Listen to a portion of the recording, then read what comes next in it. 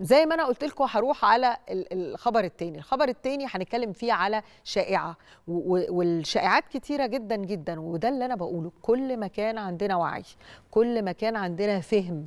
وإحنا كلنا كمان بنستعمل كل وسائل التواصل الاجتماعي طول الوقت. انت بتشوف المواطنين في كل مكان يعني بيشتغلوا على كل شبكات التواصل الاجتماعي. فتيجي مثلا شائعة معينة فتلاقي واحد يقول معقولة يروح مشيرها أو مكلم حد أو قايل لا وتبقى في النهاية هي إشاعة.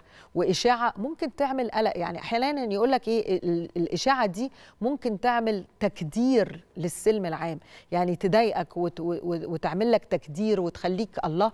إيه ده أنا هقلق زي ال- ال- الشائعة اللي موجودة دي واللي انطلقت وبتقول إن وجود نقص في آه، سلع مهمة زي الرز السكر وطبعا آه، ده مش حقيقي.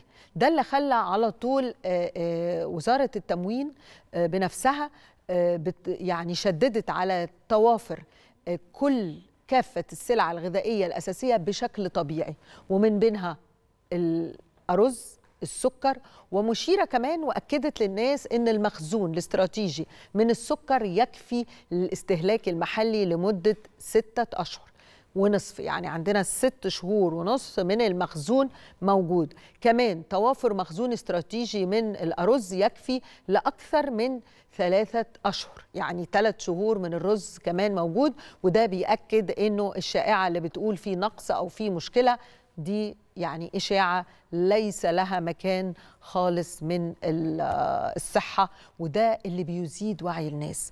الأكتر كمان إنه الناس اللي عندها وعي بقى لما تلاقي ده تكذب يعني تبذل أنت مجهود.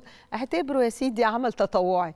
تدخل حضرتك على مثلا أي حاجة من الوسائل الاجتماعية دي وتقول يا جماعة سمعت كذا كذا كذا وده كلام فارغ, وأنا لسه مشتري وشايف بنفسي الحاجات دي وكل الأشياء آه، موجودة. عموما الدولة لا تمل ولا تكل هي طول الوقت منتبهة لكل شائعة ولكل شيء غير صحيح أن تكذبه على الفور.